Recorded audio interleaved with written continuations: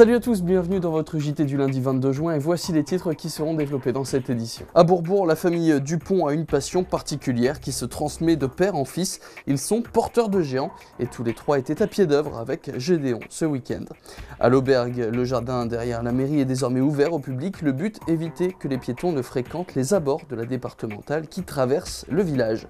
Et on terminera ce journal avec la fête de la musique à Gravelines. Et cette année, c'est dans les bars de Petit Fort qu'il fallait être. Sans eux, Gédéon serait immobile. Les porteurs de géants sont une des bases de cette grande fête bourbourgeoise. Et parmi tous les porteurs de Bourbourg, un père et ses deux fils vont, cette année encore, transporter les lourds personnages. Portrait de cette famille à la passion particulière. Dans la famille Dupont, je demande le père, les deux fils et les géants.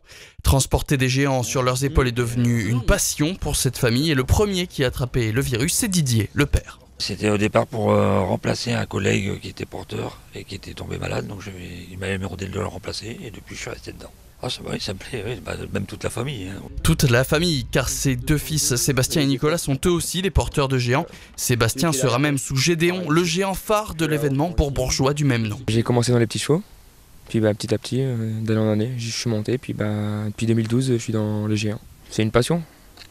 Et je porte aussi d'autres gens que Bourbourg, donc euh, c'est devenu une passion. C'est très dur déjà.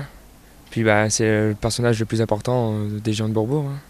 C'était un carillonneur à Bourbourg. Mais avant de pouvoir porter les géants à sa majorité, il a dû passer par les petits chevaux. C'est là qu'évolue son frère Nicolas, âgé de 15 ans. Je suis porteur des petits chevaux depuis 3 euh, ans maintenant.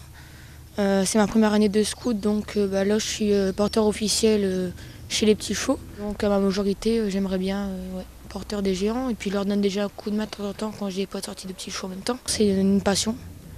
Et c'est une passion euh, particulière quoi, par rapport aux autres. Les petits chevaux pèsent quelques 5 kilos, bien loin du poids des autres géants. Euh, Gédéon qui fait 110 kilos, euh, Florentine a fait 75 et Arthurine dans les 90 kilos. Porteur de géants, c'est pas donné à tout le monde non plus, quoi. il faut, faut savoir le, maîtriser. Je suis pas, je suis pas baraqué, je suis pas costaud. Le géant est plus lourd que moi en plus, donc 110 kg, moi j'en fais à peine 60. Donc, les équipiers vont donc se relayer tous les quarts d'heure pendant les 4 km du défilé de Gédéon avec 3 sorties en 2 jours. Cette année encore, la famille Dupont va pouvoir prendre le temps de se faire plaisir au cœur d'un géant. Et de Gédéon, il en sera question demain dans votre émission Plein Phare diffusée juste après le JT. Ce week-end, à l'Aubergue, le jardin derrière la mairie est devenu une zone ouverte aux piétons. Une ouverture donc qui était attendue par les riverains. 5200 mètres carrés d'espace vert situé donc derrière la nouvelle mairie que la population a pu découvrir dès ce samedi. Voici l'auberge. Et voilà le jardin situé juste derrière la mairie. Le but de cette ouverture au public, éviter que les piétons continuent de fréquenter les abords de cette départementale en passant par ce chemin protégé. On a acheté la nouvelle mairie euh, en 2002 euh, et donc on a fait l'acquisition de ce parc en même temps. Donc après ce parc a toujours été fermé au public, n'a jamais été ouvert au public et maintenant nous rencontrons des problèmes de stationnement au centre du village et j'espère que l'ouverture de ce parc va permettre aux habitants du village de pouvoir euh, traverser euh, le village sans longer la voie départementale. Parce qu'il y a souvent des mamans avec leurs landaux qui sont embêtés pour passer le long de la départementale. Donc là, ça va permettre euh, qu'ils puissent accéder au commerce et à l'école en toute sécurité. Je voyais les enfants sur le bord des routes et ça, ça me J'étais pas rassuré en voyant ces, enfants et les parents avec les poussettes euh, circuler le long, de la départementale. Quoi. Élu depuis maintenant plus d'un an, Arnaud Corren avait fait de ce parc une de ses priorités.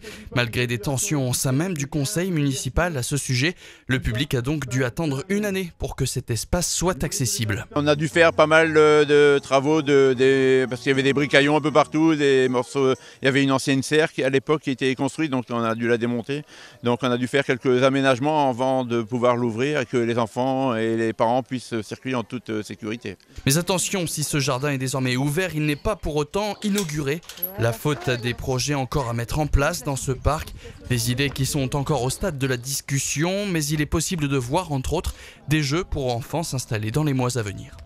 Et le premier événement de ce parc, eh bien, c'était l'après-midi même, c'était pour la première fête de la musique de l'Aubergue.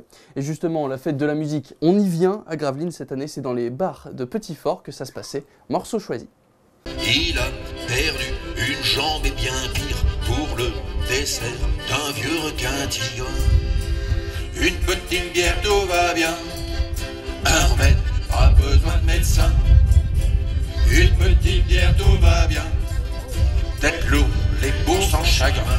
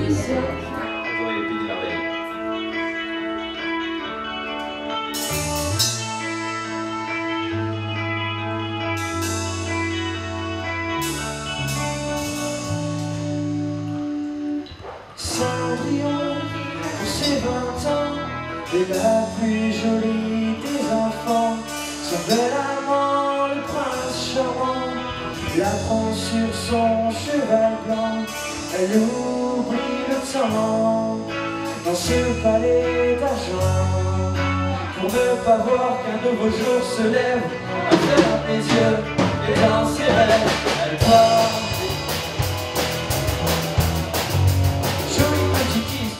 Voilà, c'est la fin de ce journal. Merci à tous de l'avoir suivi. On se retrouve demain pour une nouvelle édition. Très bonne soirée à tous sur Delta TV.